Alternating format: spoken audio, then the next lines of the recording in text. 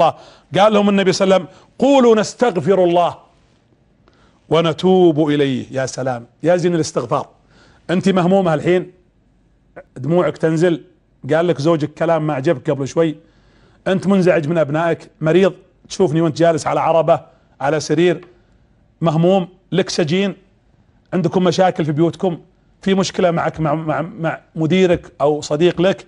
يا جماعة عليك ديون. في هموم كثيرة صح؟ في مشاكل والله إني أشعر بكم. أسأل الله أن ينزل عليكم الفرج والسعادة والسرور. يا جماعة الرسول قال استغفروا الله. استغفروا. الاستغفار باب. تطرقون أبواب توبة وأبواب رزق وأبواب رحمة. الاستغفار يفتح الأبواب. فقلت استغفروا ربكم إنه كان غفارا.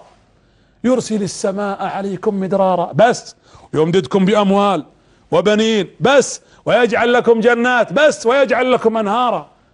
الاستغفار ما استغفر عبد استغفار صحيح إلا جعل الله له من كل هم فرجا ومن كل ضيق مخرجا. فقولوا أستغفر الله أستغفر الله أستغفر